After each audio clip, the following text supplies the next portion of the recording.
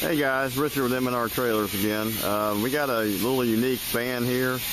This is a Ram Sprinter style van, really small, but it, it works really well for the client, and I think in this situation. Um, as you can see, we got the uh, concession window, the outside shelf right here. Let's uh, open the door and we'll take a look inside. As you can see, you got uh, immediately you've got your uh, hood got a, a nice charbroiler here.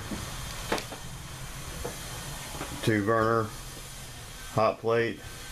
It's got a refrigerator. All the uh, fire suppression system. Got a propane water heater. Three bay sink. Hand sink. Cabinets underneath. Got a, a, uh, nice small refrigerator here for extra uh, refrigeration worktop here on top of the refrigerator.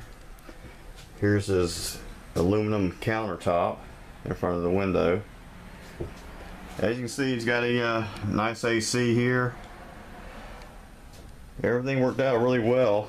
Um, underneath the cooking equipment is this generator box and uh, it's got access to the generator on the outside. I'll show you that in a second.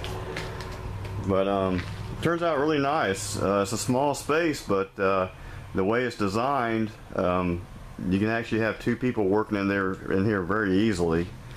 And um, you know, for uh, urban areas or, or, places that you don't have a lot of space, this uh, this really is a nice design for you.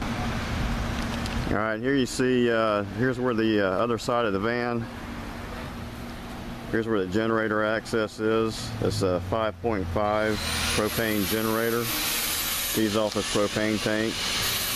And uh, we're getting ready to take it and get it wrapped um, with one of our uh, companies that we work with when wrapping. And uh, once we get that, we'll, we'll um, throw some pictures up with the video.